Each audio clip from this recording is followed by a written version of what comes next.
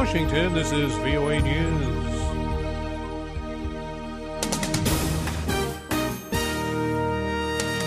I'm Ray Kouguell reporting. Boston Marathon bomber convicted on all counts. A U.S. jury Wednesday convicted Dzhokhar Tsarnaev of helping his brother carry out the 2013 Boston Marathon bombings. They killed three people and injured another 264. The jury deliberated for more than 11 hours over two days before convicting Tsarnaev, who was 21, of all 30 charges he faced. 17 of those charges carry a possible death penalty.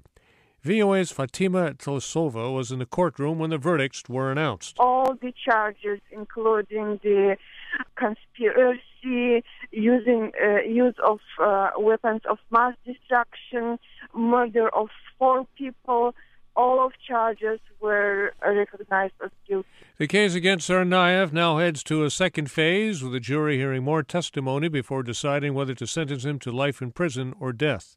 The Tsarnaev lawyers contend the older brother, 26 year old Tamerlan, who was killed in a police shootout, was a driving force behind the attack. A state run media outlet in Iran reports Iranian Navy ships have left for waters near Yemen amid a Saudi led airstrike campaign to halt the advance of Iranian backed Shiite rebels in the country. Iranian Rear Admiral Habibollah Sayyari says the fleet will provide safety for Iran shipping lanes and protect the country's interests in the high seas. A former detainee of the U.S. prison at Guantanamo Bay, Cuba, was arrested in Uganda on suspicion of playing a role in the killing last month of a prosecutor who handled terror cases. Jamal, a Ugandan, was arrested along with three others in the capital, Kampala. Officials say the U.S. government personnel supported the operation leading to his arrest. This is VOA News. Kurdish security officials say the Islamic State group has freed at least 216 members of Iraq's Yazidi community who have been held captive for eight months.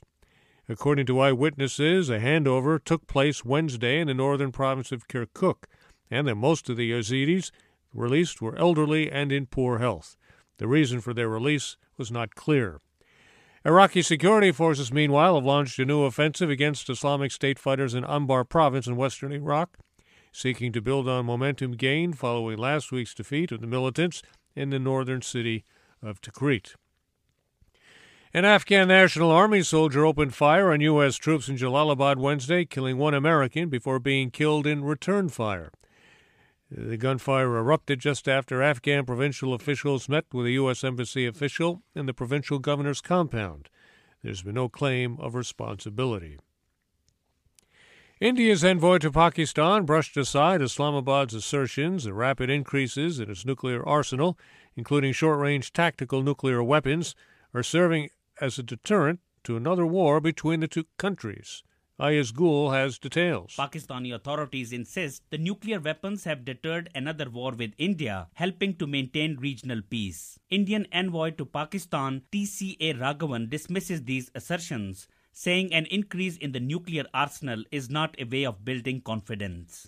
I believe the way forward is to address issues of political trust, address issues of concern with regard to terrorism and extremism, Indian diplomat Raghavan disagreed with suggestions the nuclear negotiations between Iran and the United States sets an example for India and Pakistan to work together to ease growing nuclear dangers in South Asia. Ayaz Gul for VOA News, Islamabad. A white police officer in the southeastern U.S. state of South Carolina was dismissed after a video showed him firing repeated shots at a fleeing unarmed black man and killing him after a traffic stop.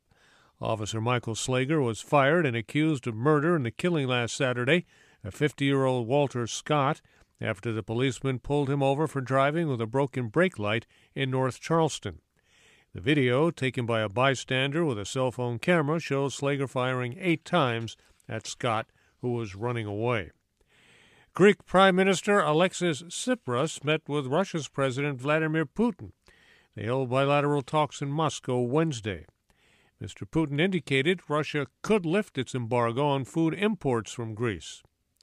Mr. Putin also said that the leader of Greece did not ask for any financial aid. I'm Ray Kouguell in Washington. That's the latest world news from VOA.